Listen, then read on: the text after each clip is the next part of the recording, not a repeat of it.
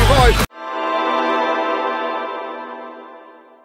Okay, so as a reminder to you all about Billy's bike, um, we're running the Rotrex C30 94 supercharger with our supercharger drive tooth belt, 30 mil tooth belt.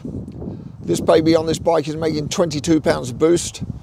Intercooler, really, really efficient intercooler. We get a very little pressure drop on the intercooler and it looks pretty cool as well with the fin tanks on the sides. People don't recognize it as uh, being an intercooler. Um, supercharger oil cooler, engine oil cooler. Obviously you're making a lot of heat. So if you're making a lot of heat, the oil cooler is essential and this goes a long way to keep the temperatures down. Um, out this side, obviously, you've got uh, the pipe out the intercooler and back into our uh, plenum chamber. We've designed the plenum chamber so the fins mimic the fins on the barrel. Makes a nice piece of it, large capacity so that we get good response um, and make a lot of horsepower. So there you go. That's what this is about. This engine is still only a 117 engine.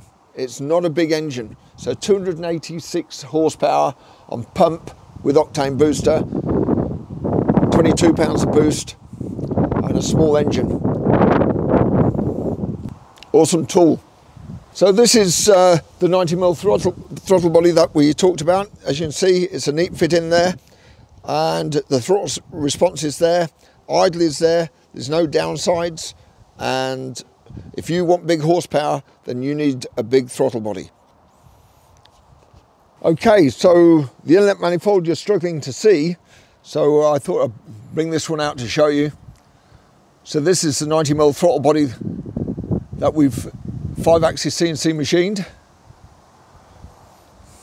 We feel that the restriction is at the throttle end, not at the cylinder head. And this has gone a long way to giving us the big horsepower numbers that we've got with this bike.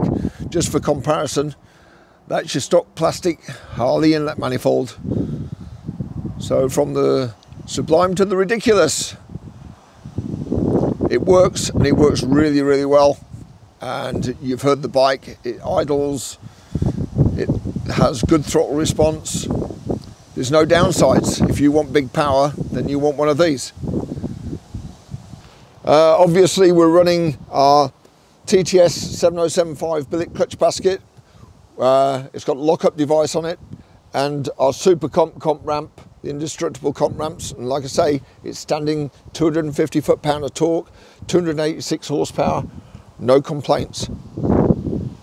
Oh, the other thing, we're only running a Zippers RS 468 cam. So only a 468 thou lift cam. We're not running a real big cam with this engine and we're still getting some awesome horsepower.